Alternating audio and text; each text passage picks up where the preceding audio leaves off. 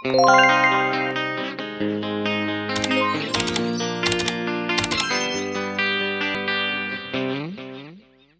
everyone! So ayan po, ito po yung day 1 ng aking paglilinis dito po sa likod ng bahay ko. Bahay namin ni Papa.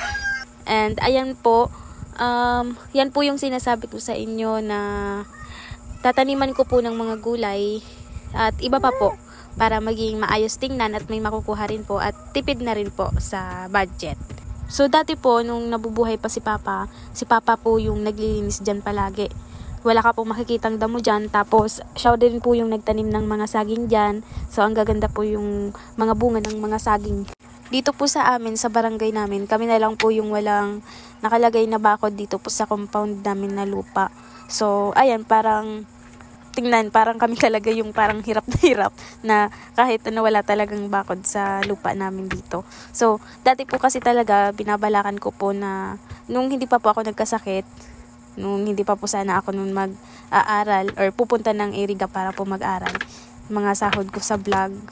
Noon, kasi dati po, uh, madami po akong viewers. Kaso nga lang po, nung dumating na po yung sahod ko, hindi na rin po nagkasya.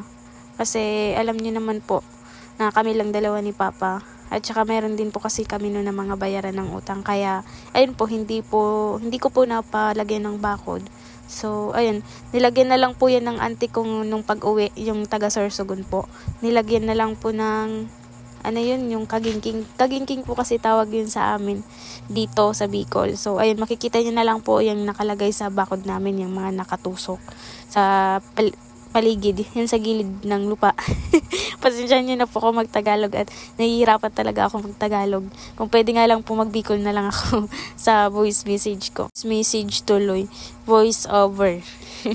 so pagkatapos po namin yan, hindi ko na po nabidyohan pala yung ano, yung pagkatapos namin kasi nalobat na rin po yung cellphone ko tapos gabi na po kami nung natapos mga mag si 6 na po. So, hindi na po na-videohan. Kaya nalobat na rin po yung cellphone ko. So, ayan nga po, dahil po mag-death anniversary na si Papa, syempre may mga taong pupunta sa loob ng bahay kasi dyan po magdadasal kay Papa sa loob. So, ayan po, bumili po ako ng wallpaper rack yan, nakaya naman po sa budget. Mura lang po yan. Um, kung gusto niyo po mag-order, ilalagay ko po dyan sa comment section. Pwede po kayo dyan mag-order. So, ang ganda po niyan kasi mapapaganda ang loob ng kwarto nyo or ang sala nyo. So, ayan po. Nagkulang nga po yan dyan. Ano, so, siguro kapag may budget ulit, lalagyan ko po ulit. So, ayan na nga po. Tapos na po ang paglalagay ko niyan. So, ayan po yung nakulangan yan sa gilid. So, ayan guys. Tapos pagkatapos ko nga pong magdikit ng mga wallpaper rock sa sala, is hindi na po ako nakalinis sa labas kasi ayan nga po naririnig nyo po umuulan po sobrang lakas. Isali ko na po ang video ko na to nung nakaraang araw. So, hindi ko pa po siya na-edit kaya ilagay ko na lang po dito sa hulihan. So, bali din po gagawa ako niyan ng ginisang sibuyas, yun po yung ipapang ulam ko. Tapos yung, tira ko pong ulam, yun din po yung pang tanghalian. Ay, ulam, yung tira kong kanin, yun din po yung pang tanghalian ko. So, sa mga nakakaalam po, masarap po 'di ba yung ginisang sibuyas, masarap po yung pang-ulam. So sa mga hindi naman po nakakapag try pa ng ginisang sibuyas na ipang-ulam, mag-try po kayo kasi sobrang sarap po. May nababasa po pala ako sa iba dati ko pang mga comment kung bakit daw po yan palagi yung mga ulam ko. Yung hindi daw po ako nagluluto ng mga gulay, ganyan. Alam niyo po kasi, dito po sa amin, kahit po dito sa amin bukid. Ay, actually, hindi naman po ito talagang totally bukid po talaga. Um, kami po kasi wala talaga kami ditong bukid. Wala kami sariling bukid na mapagtataniman ng kahit ano. Pero, Ayun nga po, nakita nyo sa first video ko, nilinisan ko po yun dito sa may likod ng bahay namin ni Papa. Doon po ako magtatanim ng mga gulay. So, ayun po, dito po kasi sa amin, um, binibili pa po yung mga gulay-gulay kahit nga po nyog. Binibili pa po dito sa amin. Tapos, gulay, ganyan.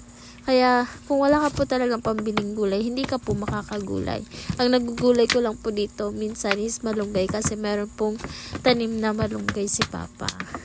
So, ayan po, kung nakikita nyo po nagsasalita ako dyan sa video, kung ano po itong sinasabi ko, yun po, nag explain po ako kung bakit nga po, hindi po ako nakakagulay palagi ng, hindi ako nakakaluto palagi ng gulay. So, ayan po, to do explain ako. Tapos, may nabasa pa po akong comment kung bakit daw po hindi ako nagwa-vlog sa labas.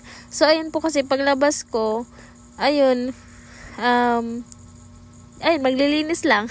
o siguro yung sinasabi niya, hindi ako nakaka-vlog sa iba't ibang lugar. Kung alam niyo lang po, um, yung nadisgrasya nga po, hindi ko pa po nakukuha yung motor ko sa Albay, dun sa Baskaran po, nandun pa sa barangay. Hindi ko pa po nakukuha kasi wala pa nga po pambili ng gulong at saka pang paayos doon. Kaya andun na muna po yun. Pero wag naman po kayo mag-alala kasi nakaka-chat ko naman po yung SK doon. So, ayun nga po, um, hindi po ako din nakapaglabas kasi alam niyo na po dito, bukid po ito. Hindi, kung wala kang pera, wala kang ano, wala kang wala kang gala. hindi ka makakapunta kahit saan dito. So, makakagala ka lang sa kapag may motor ka or kaya kapag may pamasahe ka papunta ng sentro ng Naga City. So, ayun, kaya kailangan talaga ng pera. So, sana maintindihan nyo po kasi hirap po talaga dito sa amin. So, dahil nga po hindi po ako makakagalan dahil kung saan-saan, um, ayun, naisipan ko na mag-daily vlog na lang ako ng pagtatanim dito sa bakura namin ng kahit ano. Para kahit papano may mai-content po ako at ayun, wala pong masabi yung iba syempre. At syempre, para makasahod rin. So, ayun po guys, kung napanood nyo po yung last video ko po ata, ay last upload, um, ayun po, hindi naman po ako, sana hindi po nyo po ako mabash kasi, ayun po, humihingi po ako ng tulong ng kahit konti lang naman po. Sana wala pong mangbash kasi humihingi ako. Mag magsasabi na naman po niya na humihingi ako dito sa YouTube. So, ayun po, humihingi lang po. Sa mga gusto lang po sana kahit konti lang po. Kasi, alam niyo naman po na mag-isa lang po ako. So, kailangan ko po ng tulong niyo po.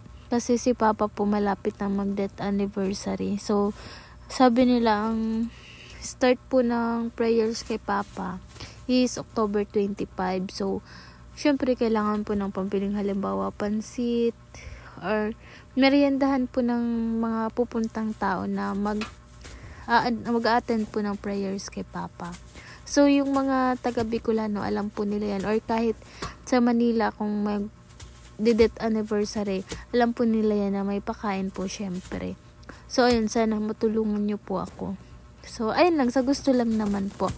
So, ayun po, sana makasahod na rin po ako, kaya nag-upload, upload na rin po ako ng sige ng upload kasi ayun gusto ko na rin pong yumaman charis so ayun lang guys sarap na sarap na po ako dyan sa luto kong ulam na sibuyas so kahit anong ulam basta pagkain gulang so ayun guys maraming salamat po sa pagsuporta nyo at uh, ayun sa mga OFW thank you so much po sa inyong lahat um, sana hindi po kayo nagsasawa ano po kasi nakakasawa talaga yung mukha kong pangit So, ayun lang guys. Maraming salamat po sa inyong lahat.